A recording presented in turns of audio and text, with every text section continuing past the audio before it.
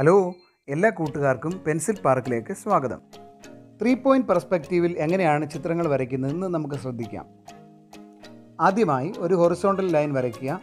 അതിനുശേഷം അതിന് കുറുകെ ഒരു വെർട്ടിക്കൽ ലൈനും വരയ്ക്കുക. ഈ ഹൊറിസോണ്ടൽ ലൈനിൽ രണ്ട് വാനിഷിംഗ് പോയിന്റുകൾ അതിന്റെ ഇരുവശത്തുമായി അടയാളപ്പെടുത്തുക. വെർട്ടിക്കൽ ലൈനിൽ അതിന്റെ മുകളിലായി ഒരു വാനിഷിംഗ് പോയിന്റ് അടയാളപ്പെടുത്തുക. വൺ പോയിന്റ് പെർസ്പെക്റ്റീവിൽ ഒരു വാനിഷിംഗ് പോയിന്റും ടു പോയിന്റ് പെർസ്പെക്റ്റീവിൽ രണ്ട് വാനിഷിംഗ് പോയിന്റും എന്നാൽ ത്രീ പോയിന്റ് പെർസ്പെക്റ്റീവിൽ മൂന്ന് വാനിഷിംഗ് പോയിന്റുമാണ് ഉള്ളത്. ത്രീ പോയിന്റ് പെർസ്പെക്റ്റീവിൽ തന്നെ രണ്ട് രീതിയിൽ നമുക്ക് ചിത്രങ്ങൾ വരയ്ക്കാൻ സാധിക്കും.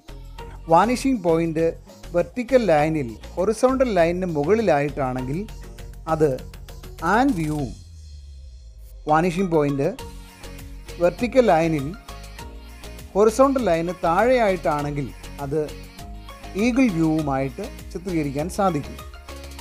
ചുരുക്കി പറഞ്ഞാൽ ഒരു ഉറുമ്പിന്റെ കണ്ണിലൂടെയുള്ള കാഴ്ചകളാണ് ആൻഡ് വ്യൂവിൽ ഉള്ളത്. എന്നാൽ ഒരു പരുന്തിന്റെ അല്ലെങ്കിൽ കഴുകന്റെ കണ്ണിലൂടെ എങ്ങനെയാണ് വസ്തുക്കൾ അതായത് പരുന്ത് ഉയരത്തിൽ പറക്കുമ്പോൾ എങ്ങനെയാണ് വസ്തുക്കളെ കാണുന്നത് എന്നുള്ളതാണ് ഈഗിൾ വ്യൂവിൽ ചിത്രീകരിക്കുന്നത്. വെർട്ടിക്കൽ ലൈനിലെ വാനിഷിംഗ് പോയിന്റ് ഹൊറിസോണ്ടൽ ലൈനിന് മുകളിലാണ്. അതുകൊണ്ട് തന്നെ ഇത് ആൻ വ്യൂ ആണെന്ന് നമുക്ക് മനസ്സിലാക്കാൻ സാധിക്കും. ആൻ വ്യൂവിൽ എങ്ങനെയാണ് ഒരു ബിൽഡിങ് നിൽക്കുന്നതെന്ന് നമുക്ക് ഇവിടെ ചിത്രീകരിക്കുന്നു.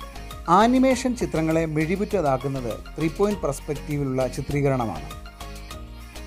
സാധാരണ ക്യാമറകൾ കൊണ്ട് ചെയ്യാൻ ബുദ്ധിമുട്ടുള്ള പല ഷോട്ടുകളും ആനിമേഷൻ ചിത്രീകരണ സംവിധാനത്തോടുകൂടി ത്രീ ഡി ആയിട്ട് ചിത്രീകരിക്കുമ്പോൾ ചിത്രങ്ങൾക്ക് പുതിയ മാനം കൈവരും. അതുകൊണ്ടാണ് ആനിമേഷൻ ചിത്രങ്ങൾ കൂടുതൽ മനോഹരമായിട്ട് നമുക്ക് തോന്നുന്നത്.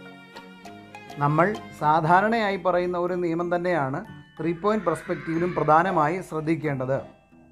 അതായത് എല്ലാ പാരലൽ ലൈനുകളും വാനിഷിംഗ് പോയിന്റിൽ മെർജ് ചെയ്യേണ്ടത് ആവശ്യമാണ്. ഹൊറിസോണ്ടലായി വരയ്ക്കുന്ന എല്ലാ പാരലൽ ലൈനുകളും ഹൊറിസോണ്ടൽ ലൈനിലുള്ള രണ്ട് വാനിഷിംഗ് പോയിന്റിലും വെർട്ടിക്കലായി വരയ്ക്കുന്ന എല്ലാ പാരൽ ലൈനുകളും വെർട്ടിക്കൽ ലൈനിലുള്ള വാനിഷിംഗ് പോയിന്റിലും മെർജ് ചെയ്യേണ്ടതാണ് ത്രീ പോയിന്റ് പെർസ്പെക്റ്റീവിന്റെ സിമ്പിൾ നിയമം. ഈ രീതി അവലംബിച്ച് നന്നായി ചിത്രങ്ങൾ വരയ്ക്കുക. നിങ്ങൾക്ക് വളരെ മനോഹരമായി ത്രീ ഡി എഫക്റ്റിൽ ചിത്രങ്ങൾ വരയ്ക്കാനായിട്ട് സാധിക്കും. ഈ വീഡിയോ അവസാനം വരെ കാണാനായി ശ്രമിക്കുക. ഇതിൽ പറയുന്ന നിയമങ്ങൾ പാലിച്ച് ചിത്രങ്ങൾ വരയ്ക്കാനായിട്ട് ശ്രദ്ധിക്കുക. വീഡിയോ ഇഷ്ടമായെങ്കിൽ ലൈക്ക് ചെയ്യാനും ഷെയർ ചെയ്യാനും മറക്കരുത്. ചാനൽ സബ്സ്ക്രൈബ് ചെയ്യാനും ബെല്ലൈക്കൻ പ്രസ് ചെയ്യാനും പ്രത്യേകം ശ്രദ്ധിക്കുക. താങ്ക്